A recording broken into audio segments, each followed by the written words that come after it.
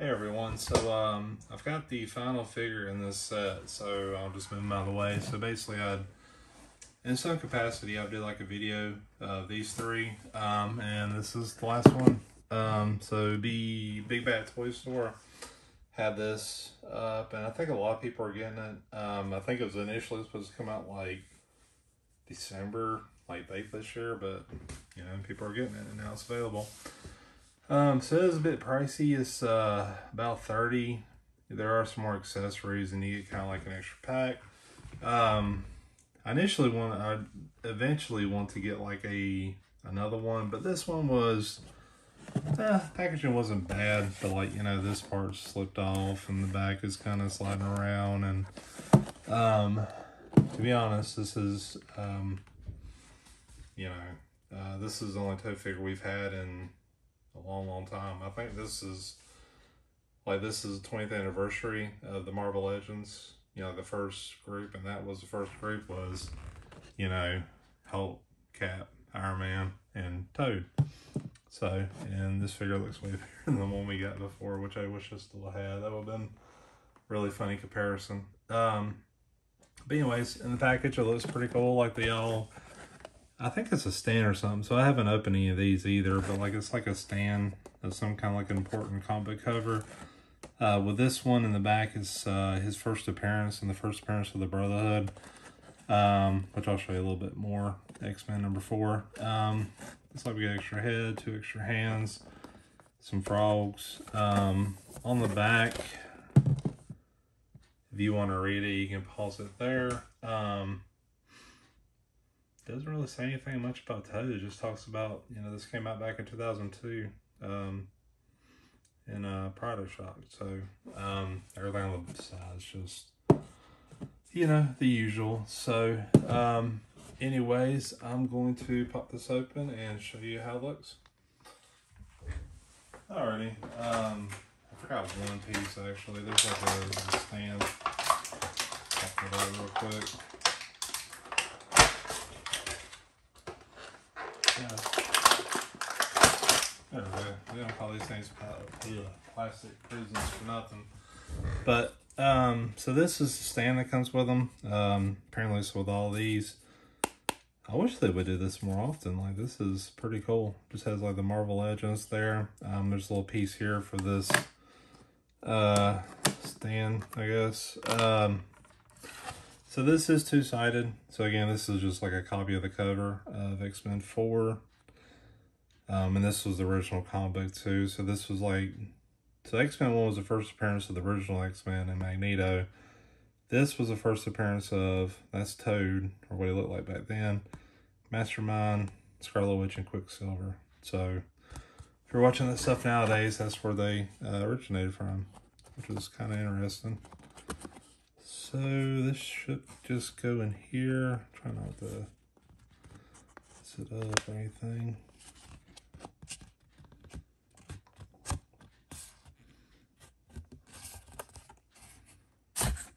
Oop, there we go. So yeah, so it just kind of stands there and that's it. Um, it's kind of like slanted forward and there is a backside here too, which I don't know, whatever. I just, I kind of like this a lot better, to be honest with you. But yeah, it's a little slanted forward. You can kind of see it's like a, like a, know, 30 degree angle or, uh, yeah, that would be 90, so I guess that'd be like 70, 80. Uh, thinking like this would be a right angle. Anyways, enough trigonometry. Um, so I guess we'll start with the figure.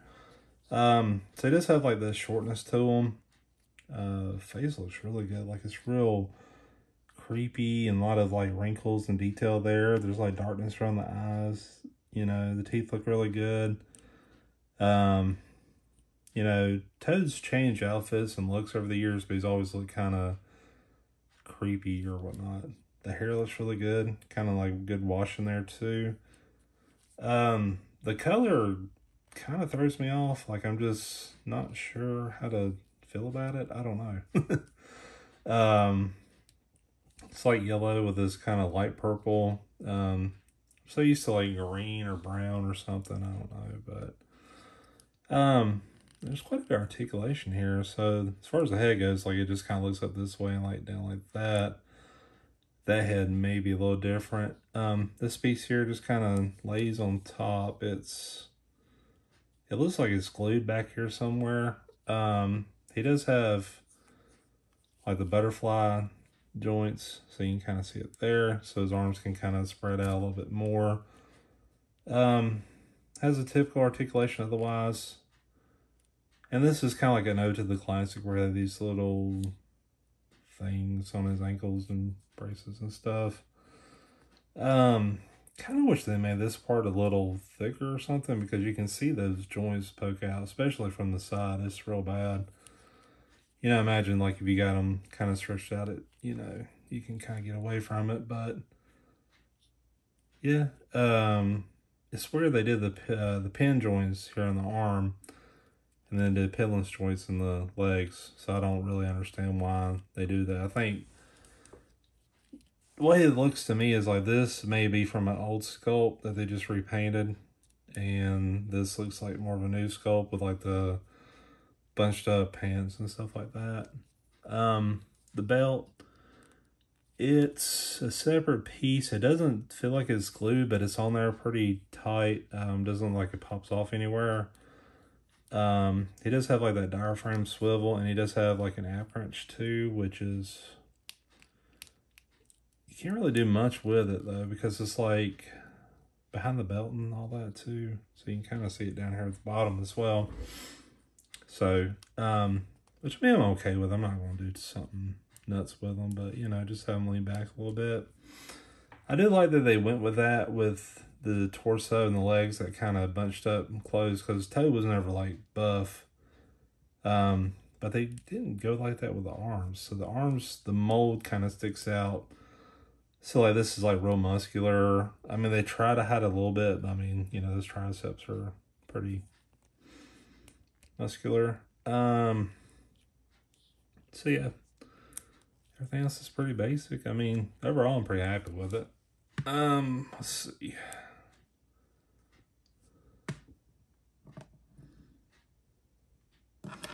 Now the two open hands. So yeah, fist the hands, you know, there. Um.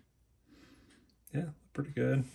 It has two toads. So the first one is like brown with a white body. Looks pretty good. Um, so they got the eyes on there pretty good.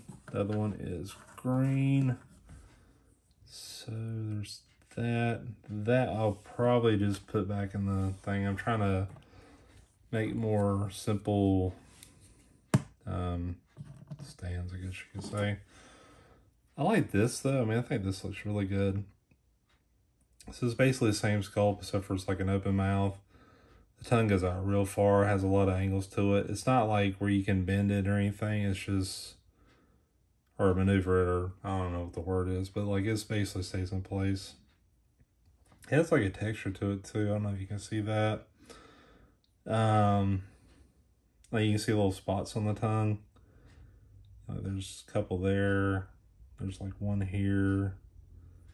Um, and it's smoother on the bottom. So I think they did really good job of that. So that's probably the way I'm going to pose them is with this and those open hands.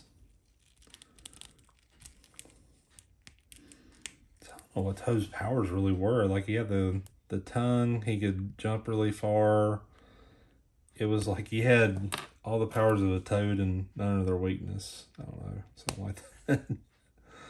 Um, I think he had like some enhanced strength too. Like he was like maybe Cap Wolverine level strength. Um, you know, all the crazy agility and stuff too. Like he was never like a really cool villain, but he wasn't a bad one either. So I think at some point he was like a leader of the Brotherhood of Mutants when um when Magneto left. So there's that too. Um yeah, you can get them pretty, pretty low. I will have balance like that. So.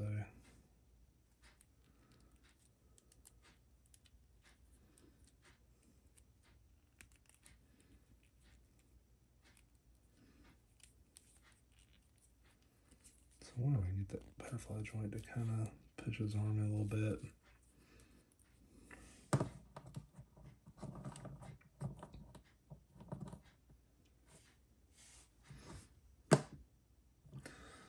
And then otherwise too, you can like use a stand. So, I mean, on his own, he does pretty good.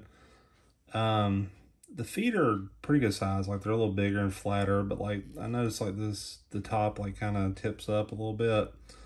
So, but I think it gets more with the design though. So it takes a little work to kind of get him to stand. But yeah, that's not bad at all. Um, move this stuff out of the way and that may be the thumbnail right there. Um, overall, I think it's really good. Um, I like it. You know, this kind of makes me want to like get another set of these, like get find a good one like this in the package and get a set of these and I don't know, maybe just open them all up. Have like a, a set in the package and then a set that's like, you know, open, you know, just kind of have like a display just for these four people.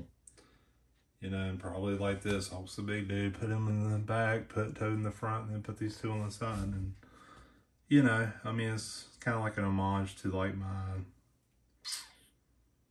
you know, overall my favorite toy line. Like if I had to pick, it's Marvel Legends, I think.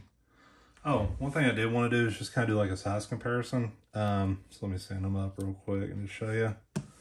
So I think Toad was like five seven, five six or something. So he's just a little bit taller than Wolverine, and then he's just a little bit shorter than Cyclops. And then you can kind of see that there. So he was, you know, in scale. So again, like an inch, an inch, and this scale is a foot, you know. So, um, but yeah. Um, if I had to give them a score, like I'm really happy with it. Like there's just minor gripes that I mentioned, you know, with the uh, you know, the over buff arms, I guess, and the you know, this joint part sticking out here. But I mean overall it's like really it's really good to see like a figure that we just you know, we don't something different. You know, we don't get that often. Um, I think my main thing is the price. Like, you know, this is a $30 plus figure. And, you know, part of me is like, yeah, you kind of got to get it because, I mean, it's Toad. We haven't had Toad in a while, stuff like that. And then part of me is like, you know, they're just charging extra because it's an anniversary edition, quote unquote.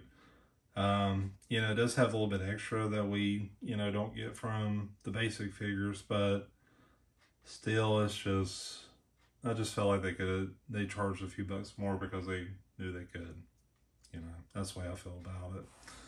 But I mean, you know, maybe Hasbro will learn from this stuff because I'm seeing a lot of this stuff just sitting on shelves. I'm seeing you know, these figures all the time at GameStop, you know, and they're on sale now. They're like 20% off. So, which pissed me off that because I bought him and, you know, could have got probably six or seven dollars off.